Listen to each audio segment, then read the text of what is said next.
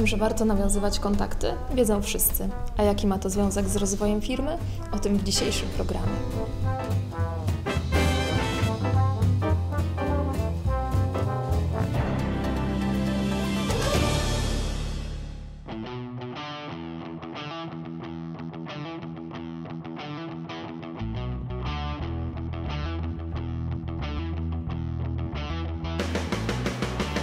Jaki był początek działalności Waszej firmy? Zaczęło się już na studiach.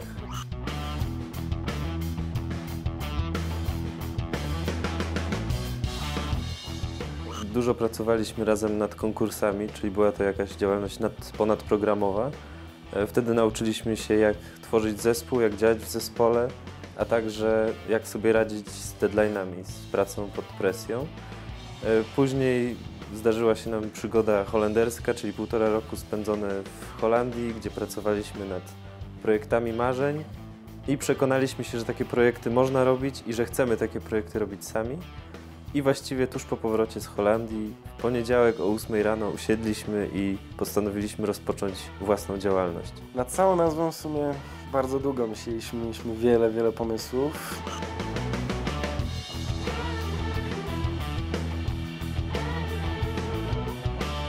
A stwierdziliśmy, że ta nazwa powinna brzmieć troszeczkę obcojęzycznie dla zagranicznej strony, że tak powiem. E, A jednocześnie, żeby to był polski wyraz, stąd modelina przedzielona taką łezką. Oczywiście to się również kojarzy z czymś plastycznym, z jakąś masą artystyczną, z czymś, z czego można łatwo coś kreować. Czyli rozumiem, że nazwa jest e, poniekąd ukłonem w stronę klienta. Mhm. A jak ich pozyskujecie? Gdzie szukacie klientów? Znaczy tak, rozpoczęliśmy pozyskiwanie klientów tak naprawdę od własnych przyjaciół, znajomych. Tak zaczęliśmy się promować. Wykorzystaliśmy chyba najprostsze narzędzie, jakim jest internet e, do własnej promocji, gdzie można się ogłosić za darmo i wykorzystywać chociażby czy Facebook, czy e, blogi internetowe.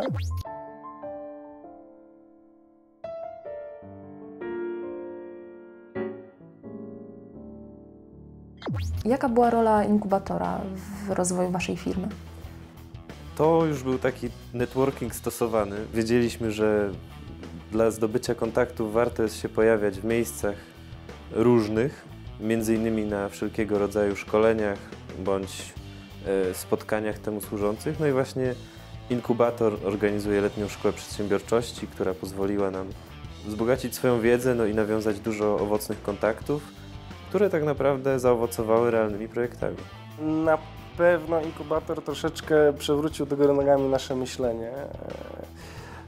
Jak zaczynaliśmy, to byliśmy troszeczkę e, artystami tak naprawdę. Dowiedzieliśmy się tam, że to jest biznes e, i w tym trzeba mieć konkretny cel, konkretne plany i konkretne podejście również do klienta. E, Stąd zaczęliśmy traktować naszą pracownię również jako firmę, nie tylko jako dobrą zabawę.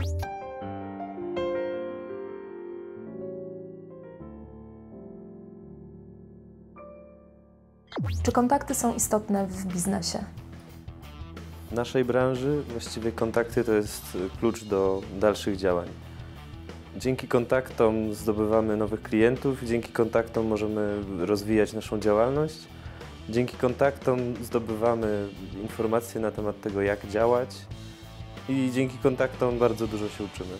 Bez kontaktów nie byłoby ani zleceń, ani żadnych projektów, więc jest to tak naprawdę clue istnienia firmy. Bez względu na to tak naprawdę, czy są kontakty czysto przynoszące projekty, yy, czyli de facto przeliczające się bezpośrednio na, na nasz zarobek, bo są kontakty, które tak naprawdę przynoszą kontakty. Czyli często warto zainwestować troszkę czasu, aby poznać kogoś, przedstawić siebie nie po to, żeby zyskać projekt, tylko po to, żeby zyskać dostęp do kolejnych osób i być może te osoby wtedy przyniosą nam e, właśnie projekt, czyli zarobek.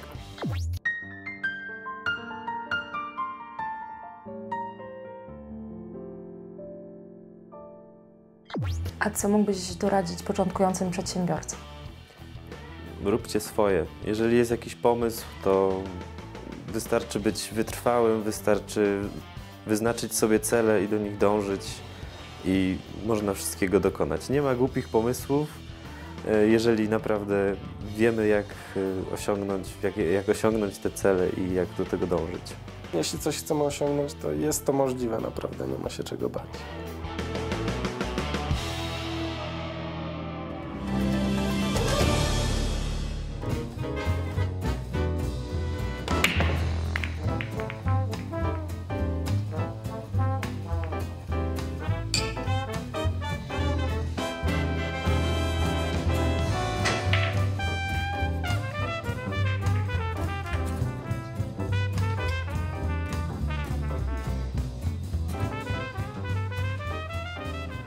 Na co należy zwrócić uwagę w nawiązywaniu korzystnych kontaktów biznesowych?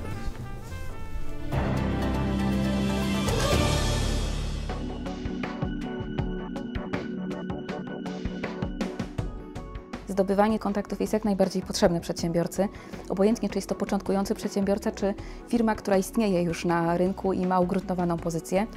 Każdy kontakt y, pozwala na pozyskanie może nowego y, zlecenia, na odświeżenie też informacji branżowych albo pozyskanie zupełnie innych informacji, które też mogą zaowocować tym, że w przyszłości możemy y, nawiązać jakieś dodatkowe, czy powziąć jakieś dodatkowe inicjatywy.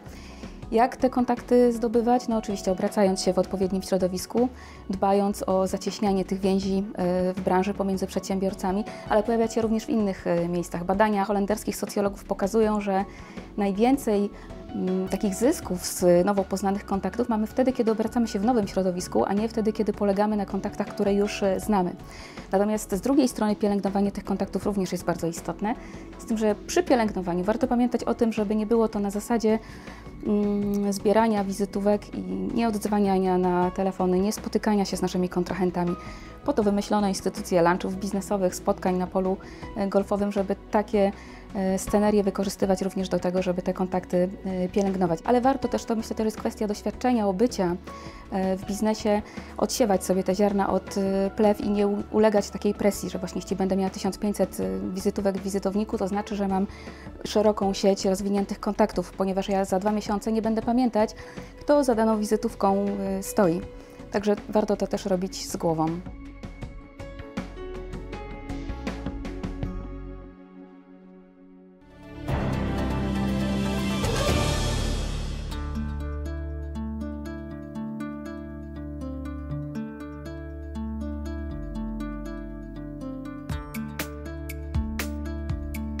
Jaka była historia powstania firmy? Ojejku, no to chwilę potrwa. Muszę się zastanowić, jak to było dawno temu.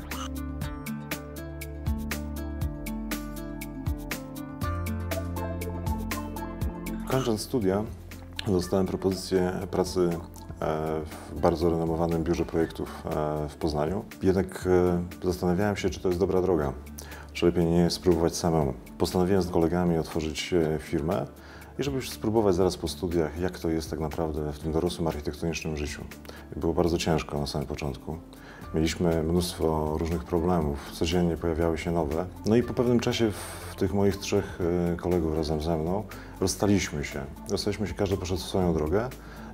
Moja firma, e, zarejestrowana w 1995 roku, e, funkcjonuje do dnia dzisiejszego.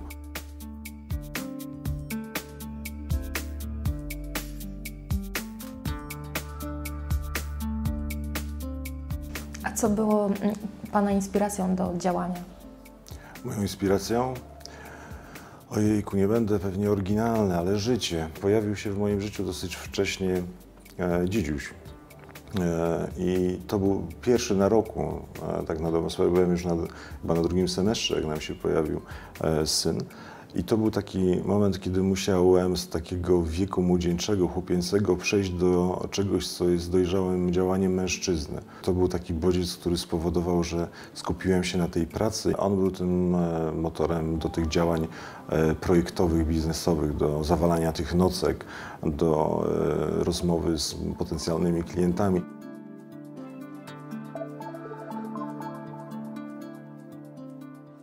Jakimi trudnościami mm, w rozwoju firmy miał Pan do czynienia? Oczywiście są problemy małe i są problemy duże. E, te duże problemy to ostatnie półtora roku, tak na dobrą sprawę, ponieważ rozsądnie gospodarowaliśmy finansami naszej firmy. Udało nam się zachować e, całą grupę architektów, których zatrudniamy, mimo tego, że w zeszłym roku mieliśmy pracę na 30% załogi. Wiadomo, że robienie czegoś takiego jak zwalnianie ludzi dlatego, że jest kryzys, no, powoduje, że później odbudowanie tego, tej załogi, tej grupy ludzi, jest, to, jest, to jest taki wieloletni często e, proces i trudno jest znaleźć potem z dnia na dzień osoby, które e, dobrze grają tutaj wspólnie z nami e, przy następnych tematach.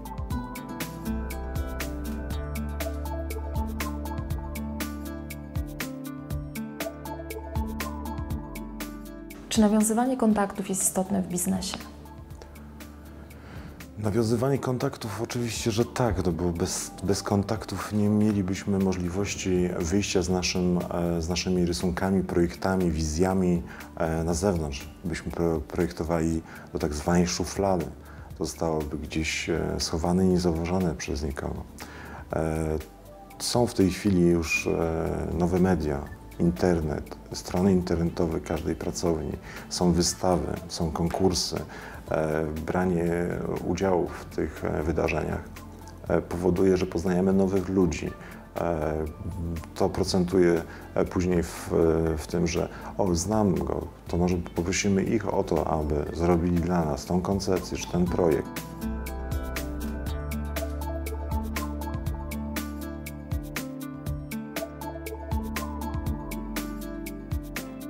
Co mógłby Pan doradzić początkującym przedsiębiorcom?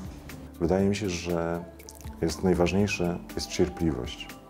Cierpliwość, e, nie poddawanie się, nie szukanie takich rozwiązań, które dają sukces od razu. E, nie ma chyba żadnego biznesu, który pozwala e, od razu w harmonogramie ustalić sukces, że on będzie jutro, pojutrze, za tydzień. Trzeba mieć cierpliwość.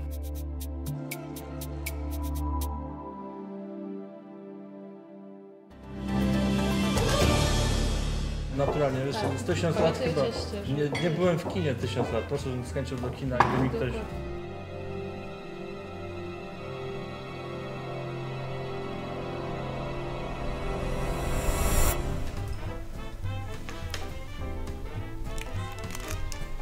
Nawiązywanie kontaktów biznesowych niewątpliwie wiąże się z wywieraniem dobrego wrażenia.